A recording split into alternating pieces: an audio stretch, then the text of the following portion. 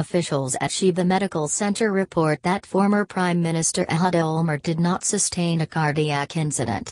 Chief of Cardiac Medicine at Tel HaShomer Professor Shlomo Mitsky announced on Tuesday evening that the former Prime Minister was being kept for a number of hours for observation after it was determined he did not sustain a cardiac incident.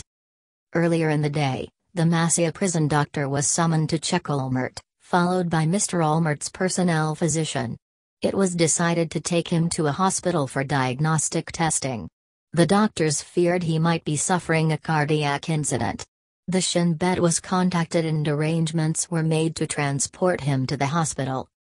Hospital officials on Wednesday morning 27-7 stated Mr. Olmert remains hospitalized and is expected to undergo additional tests during the day.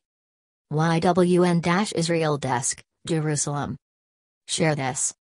Click to